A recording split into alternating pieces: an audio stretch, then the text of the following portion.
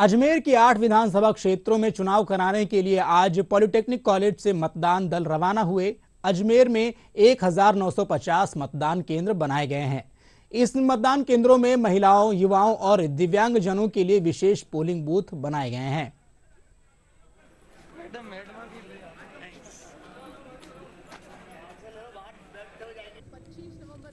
वाले विधानसभा चुनावों के लिए राजस्थान में अजमेर जो जो कि एक ऐतिहासिक नगरी है, वो भी तैयार है।